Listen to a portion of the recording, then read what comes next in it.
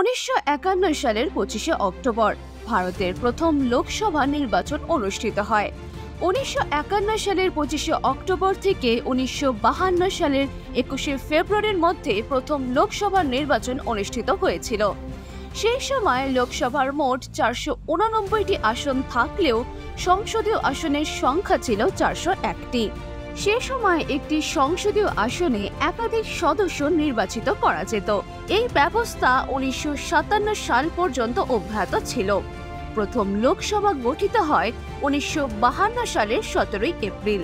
এর প্রথম সভা উনিশশো সালের তেরোই মে অনুষ্ঠিত হয়েছিল।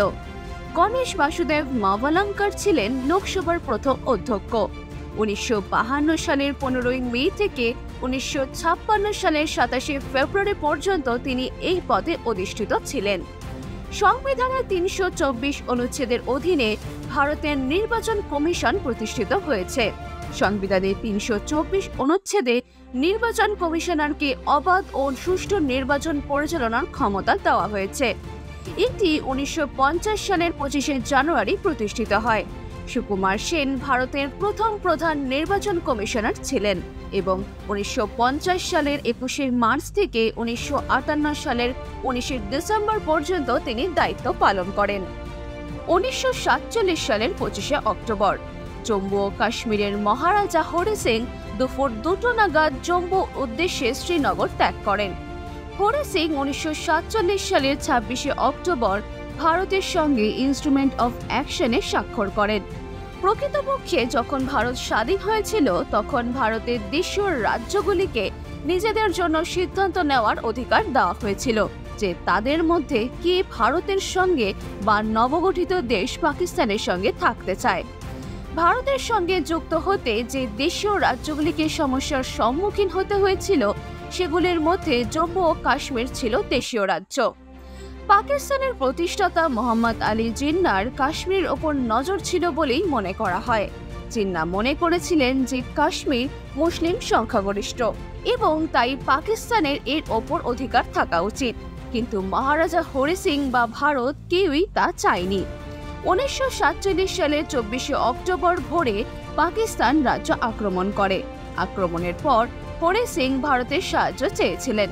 এবং পরিস্থিতির পরিপ্রেক্ষিতে ভারতের সঙ্গে রাজ্যের সংযুক্তের জন্য একটি আইনি নথিতে স্বাক্ষর করেছিলেন।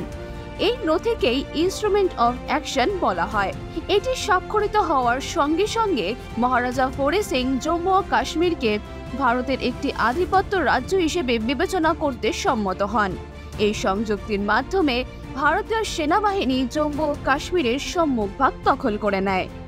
দু হাজার পাঁচ সালের পঁচিশে অক্টোবর নির্মল ভার্মা নতুন দিল্লিতে মারা যান। নির্মল ভার্মা মূর্তিদেবী পুরস্কার, সাহিত্য একাডেমি পুরস্কার উত্তরপ্রদেশ হিন্দি সংস্থান পুরস্কার এবং জ্ঞানপীঠ পুরস্কারে ভূষিত হন। নির্মল ভার্মা ছিলেন একজন অনন্য লেখক। নির্মল ভার্মা হলেন হিন্দির প্রথম এবং একমাত্র লেখক যার নাম ভারত সরকার সাহিত্যে নোবেলের পুরস্কারের জন্য আনুষ্ঠানিকভাবে প্রস্তাব করেছিলেন। তিনি উনিশশো পঞ্চাশের দশকে লেখা শুরু করেন। তার গল্প পরিন্দে হিন্দিতে একটি নতুন গল্পের সূচনা বলে মনে করা হয়। নির্মল বর্মা তার জীবদ্দশায় গল্প, উপন্যাস, ভ্রমণ কাহিনী, প্রবন্ধ, চিঠি, অনুবাদ এবং বিভিন্ন ঘরানার বইসহ চল্লিশটিরও বেশি বই প্রকাশ করেছেন। পঁচিশে অক্টোবর আঠেরোশো একাশি সালে মহান স্প্যানিশ শিল্পী পাবলো পিকাসো জন্মগ্রহণ করেছিলেন। তাকে বিংশ শতাব্দীর অন্যতম বিখ্যাত এবং সফল শিল্পী হিসেবে বিবেচনা করা হয়।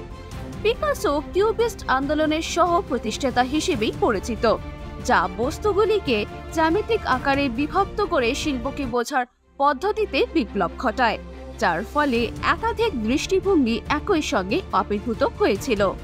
পিকাসোর সবচেয়ে বিখ্যাত কাজগুলির মধ্যে একটি হল গর্নিকা। স্প্যানিশ গৃহযুদ্ধের সময় বাস্ক শহর গর্নিকার বোমা হামলার ওপর ভিত্তি করেই এটি তৈরি করা হয়েছিল। পাবলো পিকাসো উনিশশো তিয়াত্তর সালের আটই এপ্রিল মারা যান। আঠারোশো খ্রিস্টাব্দের পঁচিশে অক্টোবর ব্রিটিশ ইতিহাসবিদ এবং রাজনীতিবিদ টমাস ম্যাকুলে জন্মগ্রহণ করেছিলেন। ম্যাকলে ব্রিটেনের লর্ড ম্যাকল নামেও পরিচিত। তিনি ভারতীয় শিক্ষা ব্যবস্থাকে ধ্বংস করার লক্ষ্যে মানুষকে পশ্চিমা পদ্ধতি গ্রহণ করতে বাধ্য করেছিলেন বলেই মনে করা হয়।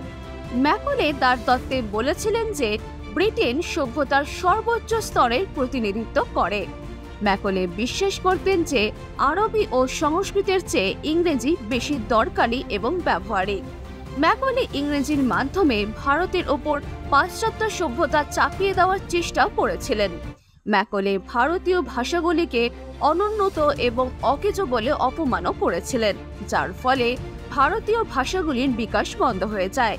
এটা বিশ্বাস করা হয় যে ম্যাকলের কারণেই ভারতে ইংরেজি মাধ্যমে স্কুল ও কলেজগুলি শুরু হয়েছিল। ম্যাকলে আঠেরোশো সালের আঠাশে ডিসেম্বর ব্রিটেনে মারা যান।